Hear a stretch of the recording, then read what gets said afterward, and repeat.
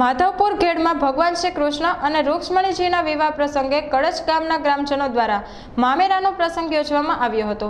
તેમાં કુતિયાળાના ધારાસભ્ય સહિત મોટી સંખ્યામાં ગ્રામજનોએ વાજતે ગાજતે કાંધલી માતાજીના મંદિર, માધવરાયજીના મંદિરે ધ્વજારોહણ કર્યું હતું. આ તકે હજારોની સંખ્યામાં કળશ તથા આસપાસના ગ્રામજનોના લોકો જોડાયા હતા. અહીંથી કૃષ્ણ ભગવાન અરુણાચલ પ્રદેશની અંદર રૂક્ષ્મણીમાના સંદેશાના અનુસંધાને એનું હરણ કરવા માટે ગયેલા. અને ત્યાંથી ભવાની માના મંદિરેથી એમણે હરણ કરી અને આ માધવ ક્ષેત્રની અંદર પોતે પધારેલા તમામ ઋષિ, મુનિઓ, દેવગણો સહિત તમામ દેવતાઓ પણ એમ કે આ મેળાની અંદર એમની પાંચ દિવસના આ મહોત્સવનો લાભ લીધો એ પરંપરા આજે પણ ઉજવાઈ રહી છે. અને ગામની રક્ષા માટે ભગવાને અગ્નિ તીર્થ ચક્ર તીર્થ અને પદ્મ તીર્થ સમુદ્ર કિનારે ત્રણ સ્થાપિત કરેલા છે.